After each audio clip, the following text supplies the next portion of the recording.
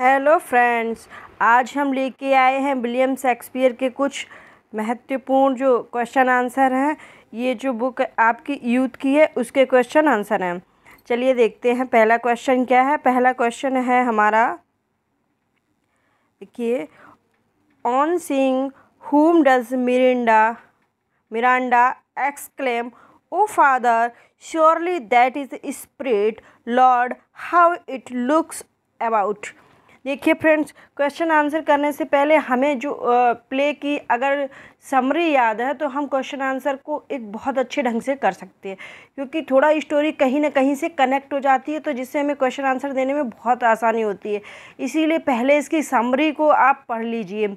और उससे समरी को इंग्लिश में पढ़ने से पहले अगर आप हिंदी मीडियम से बिलोंग करते हैं तो हमारे चैनल पे कुछ जो ही शेक्सपियर की जो लोकप्रिय कहानियाँ हैं, उनकी बुक से वो डाली गई हैं आप लोग चाहें तो एक बार देख सकते हैं। चलिए आते हैं अपने क्वेश्चन पर। ये क्वेश्चन आपका U P P C S G D C का 2021 में पेपर हुआ था, उसमें आया था। तो देखिए, इसमें मिरांडा किसमें है? मिरांडा आपकी है टेम्पेस्ट में, जो द टेम्पेस्ट शेक्सपियर ने लिखा है, उस ड्रामा से है। ठीक है? तो मिरांडा क्या कहती है कि ये ये जो आपका जो ये कोटेशन है, ये जो तो ये किसका है? ये मिरांडा का है। और ये किसमें से है? द टेम्पेस्ट से है। अब ये किससे कह, किसके लिए कहती है? तो इसका आंसर होगा आपका बी फेर्डिनेंट के लिए कहती है। ठीक है? अब इसकी ये डिटेल है। देखिए, on seeing Ferdinand Miranda exclaims O father surely that is a spirit lord how it looks about Miranda charming and graceful girl she is one of the most charming heroines of Shakespeare's play the Tempest जो आपकी Mirinda जो heroine है, वो कहाँ की है? वो आपकी सेक्स वो शेक्सपियर का जो टेम्पेस्ट है द टेम्पेस्ट उसकी है। नेक्स्ट देखिए क्वेश्चन क्या है? Which of the following is not correctly matched इसमें से कौन सा करेक्टली मैच्ड नहीं है? जैसे we are such stuff as dreams as made on तो ये टेम्पेस्ट का है, सही है।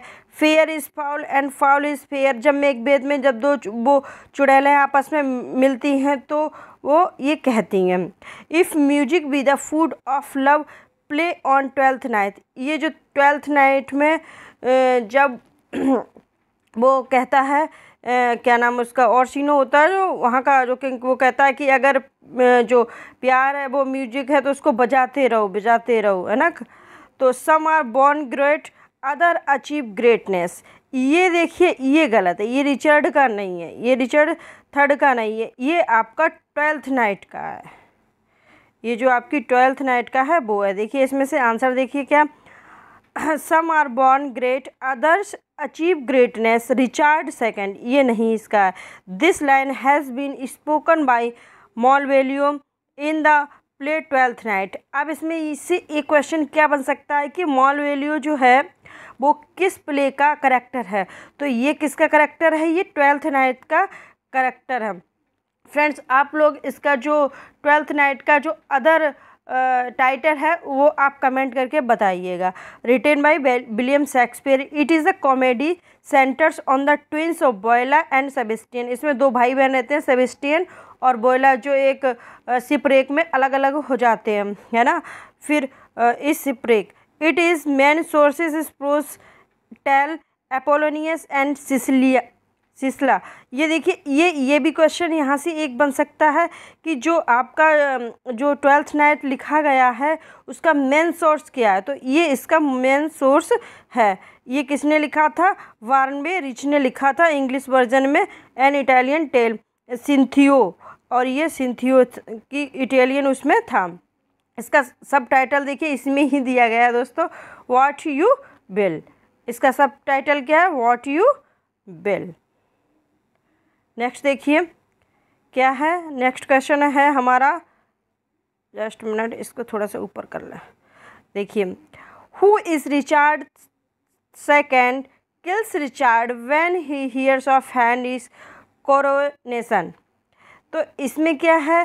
देखिए, इसमें इसका आंसर होगा पायर्स एक्सटर्न ये देखिए, ये विलियम शेक्सपियर का एक हिस्ट्री प्ले है विलियम शेक्सपियर ने हिस्ट्री प्ले लिखे कुछ में उसमें से एक है ये देखिए Piers Exton kills Richard when he hears of Henry's coronation in the play Richard II. It is a history play, sorry history play written around 1595. देखिए इनके जो शेक्सपियर के जो प्ले हैं इसमें थोड़ा रिटर्न जो इनकी जो डेट मिलती है उसमें थोड़ा एक दो साल ऊपर नीचे हो जाता है तो ये ये भी क्वेश्चन इसमें ऐसे भी क्वेश्चन आते हैं एग्ज़ाम में कि ये जो मान लीजिए आपका रिचार्ड सेकेंड है ये आपका आ, कौन सा प्ले रोमन प्ले है हिस्ट्री प्ले कॉमेडी है ट्रेजडी है इस तरह से पूछते हैं। तो ये आपका क्या है? ये आपका एक हिस्ट्री प्ले है और जो किसकी लाइफ पर बेस्ड है ये किंग रिचार्ड सेकेंड की लाइफ पर बेस्ड है जो इंग्लैंड के chronicle his downfall and the machinations of his nobles William Shakespeare has written देखिए विलियम शेक्सपियर ने थर्टी सेवन प्लेस लिखे थे और one forty one fifty four sonnets लिखे थे, ठीक है? और the play Richard second was perform at the Globe Theatre on twelve June sixteen hundred thirty one आपका जो रिचार्ड सेकेंड जो प्ले है, वो ग्लोब थिएटर में बारह जून सोलह सौ इकतीस को परफॉर्म किया गया था।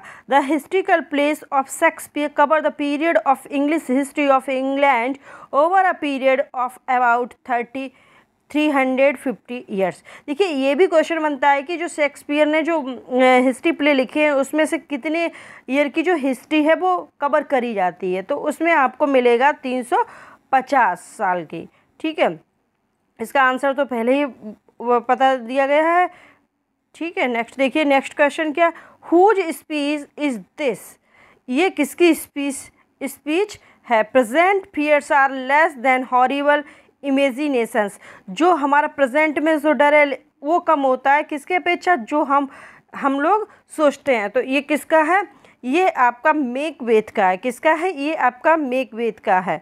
ठीक है? ये जहाँ तक ये मेक वेद का अच्छा ये ये पूछा गया, ये किसने कहा है? तो ये मेक वेद का ही होगा। देखते हैं। हाँ ये देखिए मेक, मेकबेथ ने ही कहा था, क्या the given famous is present fears are less than horrible imagination is spoken by Macbeth in the play Macbeth act first and scene first. देखिए फ्रेंड्स ये बहुत ही फ़ेमस जो होते हैं ना, उसमें एक्ट और सीन पूछ लिया जाता है, वैसे ये कम आता है। तो इसमें करेक्टर वगैरह ज़्यादा आते हैं। तो ये वाला डायलॉग ये किसका है? ये मेकबेथ का है। एक्ट फ़र्स्ट और सीन थर्ड का। The play Mac Macbeth is tragedy written by William Shakespeare is about sixteen hundred zero six. ये विलियम शेक्सपियर की एक ट्रेजडी है जो 1606 में लिखी गई है। First publish in first folio of 1623 और ये फ़र्स्ट पोलियो में 1623 में पब्लिश हुई थी। वाई हैमिंग्स एंड कॉन्डेल इन्होंने जो हैमिस और कॉन्डेल थे, इन्होंने सोलह तेईस में इनको, इनका जो फ़र्स्ट पोलियो निकाला था उसमें ये सब पब्लिश हुए थे। The source of the play is Hol Holinshed's Chronicles 1587 देखिए, इनके जो ट्रेजडी की मोस्टली ये इन्हीं से ली गई। है हॉलिनसेड्स एंड क्रॉनिकल से और इन्होंने लिखा था पंद्रह में।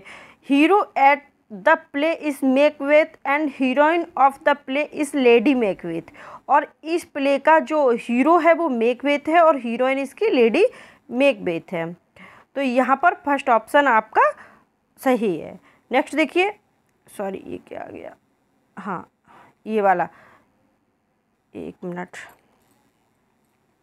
हाँ ये देखिए who called and up start करो देखिए शेक्सपियर को अप स्टार्ट करो किसने बोला था? तो शेक्सपियर को अप स्टार्ट करो बोला था आ, किसने? ग्रीन ने। रॉबर्ट ग्रीन ने बोला था। देखिए, Robert Greene is renowned for his connection with William Shakespeare सबसे पहले जो क्रिटिक हैं, जो इन्होंने ही विलियम शेक्सपियर की सबसे ज़्यादा रॉबर्ट ग्रीन ने ही की थी। He attacked on Shakespeare's groat worth of wit इनका ये एक पम्पलेट था, उसमें इन्होंने इस groat of worth of wit नाम का था। इसमें इन्होंने इनकी क्रिटिक वो आलोचना की थी। As an upstart crow beautified with our feathers मतलब उस कौए ने हमारे पंख लगा के अपने वो कर लिया। इनका ये मानना था कि ये जो शेक्सपियर जो थे, ये दूसरों के दूसरों के नाटक या जो प्ले भी थे, उनको जो साहित्यिक रचना थी, उसको चुरा के और अपने अपना बना लेते थे, उसमें थोड़ा सा मॉडिफाई करके। तो इनका यही इसीलिए इन्होंने ये कमेंट किया था। It is the first reference to Shakespeare as a London dramatist and his Pandosto provide Shakespeare with the source for the Winter Winter's Tale अब चलिए देखते हैं नेक्स्ट क्वेश्चन नेक्स्ट क्वेश्चन हमारा क्या है? Who among the heroes of Shakespearean plays has been described as melancholic and neurotic having Oedipus complex. देखिए, Oedipus complex की बात ही की गई है तो ऑडिपस कॉम्प्लेक्स क्या होता? देखिए, आपने एक प्ले पढ़ा होगा, उसमें ऑडिपस रैक्स उसमें क्या होता है कि वो ऑडिपक्स, ऑडिपस इसका मतलब होता है कि अपनी, ऐसा बेटा जिसका अपनी माँ के प्रति थोड़ा अट्रैक्शन होता है। तो ये किसमें हमने देखा था? ये हम लोगों ने हेमलेट में देखा तो तो इसका आंसर हो जाएगा हेमलेट देखिए Hamlet hero of Shakespearean plays has been described as melancholic and neurotic having Oedipus complex Hamlet princes of Denmark देखिए, यह, ये भी पूछा जा सकता है क्वेश्चन कि हैन जो हेमलेट है, वो कहाँ का प्रिंस है? तो ये प्रिंस ऑफ़ डेनमार्क है। Is a tragedy in five acts ये पाँच एक्ट की ट्रेजडी है। Written about fifteen hundred ninety nine sixteen zero one and publish in quarto edition in sixteen zero three देखिए, ये आपका इसमें पंद्रह सौ निन्यानवे से सोलह सौ एक में लिखा गया था और ये एक क्वार्टो इनका एडिशन जो पब्लिश हुआ था, सोलह सौ तीन, उसमें ये पब्लिश हुआ था सबसे पहले। In psychoanalytic theory Oedipus complex denotes the emotion and ideas that the mind keeps in the unconscious by dynamic repressions that constant upon boy's desire to sexuality possess his mother. Next देखिए। Which of the following plays of Shakespeare contains the lines what a piece of work is man ये किसका है? ये देखिए, ये what a piece of man work is man is phrase है। ये within an monologue है। Monologue देखिए क्या होता है? ये किसी मोनोलॉग होता है जो अपने आप से ही बोला जाता है। By Prince Hamlet to Rosencrantz and Guildenstern in act second act scene in william shakespeare's play hamlet hamlet is reflective at first admiring and and then displaying on the human conditions next देखिए next हमारा क्या था late plays of Shakespeare end in जो Shakespeare का जो late play था वो किस पे एंड होता था डिस हारमोनी पे। देखिए, द लेट, सॉरी, हारमोनी पे। The late plays of Shakespeare end in harmony, William Shakespeare late plays composing comprising Pericles, Prince of Tyre, Cymbeline, the Winter's Tale and the Tempest. Van Dowden argued that Shakespeare's late comedy should be called dramatic romances. जो इनकी late ये comedy है, इनको dramatic romance भी बोलते हैं। He did so because they resemble late medieval and early modern romances genre in which stories were set across the immensity of space and time thus appropriate answer is option A इसलिए option A who made the following sentence neither a borrower nor a lender be for loan oft loses both itself and friend at borrowing dulls the edge of husbandry देखिए, ये बहुत ही famous dialogue है, इसको कई बार पूछा जा चुका है। तो ये डायलॉग आपका जो पॉलिनस है, वो हैमलेट में अपने बेटे ले लेटरिट से कहता है। इसका बेटे, जब वो पढ़ने के लिए जाता है बाहर तो उससे ये कहता है नायदर अ बोरो ये देखिए, ये is a line Polonius and counsellor to King Claudius in act first scene third में है William Shakespeare blog Hamlet is a binding farewell to his son Laertes who is living Denmark for France जो Laertes है उसका बेटा है किसका? Polonius का आ, वो जाता है कहाँ? वो फ्रांस को जा रहा है। तो इसलिए वो अब कहता है Laertes and his sister Ophelia are waiting for him at the harbour ठीक है? आज टेन ही रखते हैं। अगर आप लोगों को ये क्वेश्चन आंसर अच्छे लगते हैं तो वीडियो कमेंट करके बता दीजिए, फिर ऐसे और बना देंगे। Okay bye bye